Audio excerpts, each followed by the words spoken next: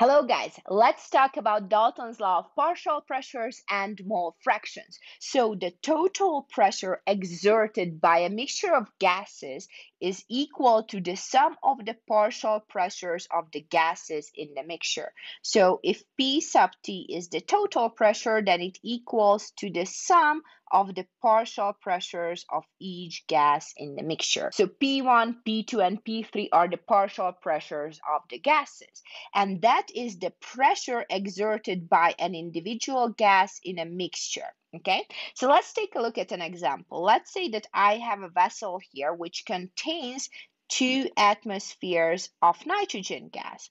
And then if I have the same vessel there, which contains three atmospheres of O2 gas, I can mix the two gases in one vessel, which is going to have the same volume as the previous two vessels.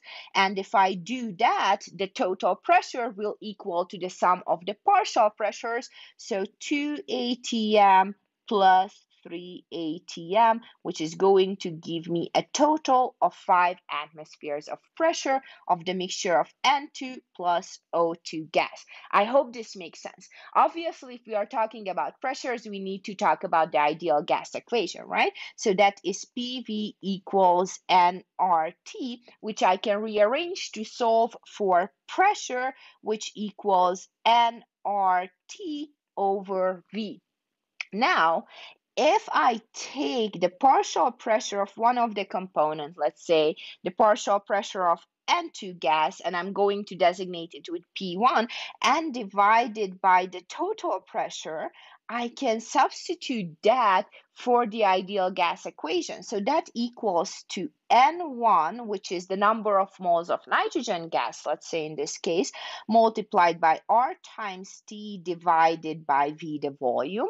And this will be divided by N T, which is the total moles of all the gases. Well, if we are talking about the N2 plus O2 mixture, that is going to be the moles of the nitrogen and the oxygen gas, multiplied by R times T divided by V. Now, because we are at a constant temperature and a constant volume, we can actually cross those out and R is a constant on both sides. So we can rewrite this as N1 divided by NT, right? And the moles of one component in a mixture divided by the total number of moles is actually going to give you the mole fraction of that component. So this is the mole fraction of component one. Now, don't mix it up. This is actually not a letter X. This is the Greek letter chi, okay? We can rearrange this equation we look at chi1, P1, and PT in order to calculate the partial pressure of any of the components. So if I have component 1, its partial pressure equals to the mole fraction of that component multiplied by the total pressure. Okay, I hope this makes sense. Let's do some practice problems. A chamber contains argon, neon, and nitrogen gas. The total pressure in the vessel is 7.8 atmospheres. The partial pressures of nitrogen and argon are 3.2 and 1.8 atm respectively. The partial pressure of neon in the chamber is blank atm. Okay, so we know that the total pressure equals to the partial pressure, in this case of argon, plus the partial pressure of neon, and plus the partial pressure of N2 gas. We are given the partial pressure of nitrogen and argon gases, which is 3.2 and 1.8 atmospheres, and we have to solve for the partial pressure of neon gas. So I can simply rearrange this equation and the partial pressure of neon gas equals to the total pressure minus the partial pressure of argon gas plus the partial pressure of nitrogen gas.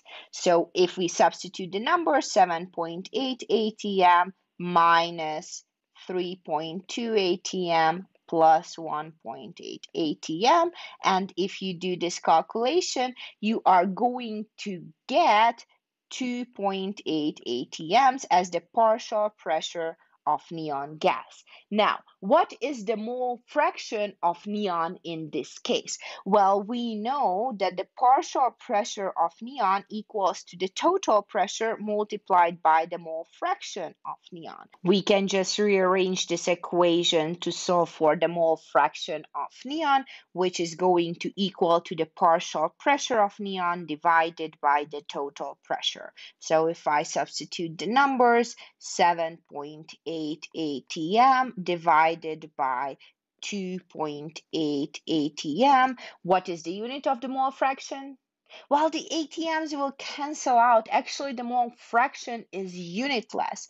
So if you do this calculation, you are going to get 0.36 as the mole fraction of neon in this case. I hope this makes sense. See you in the next video.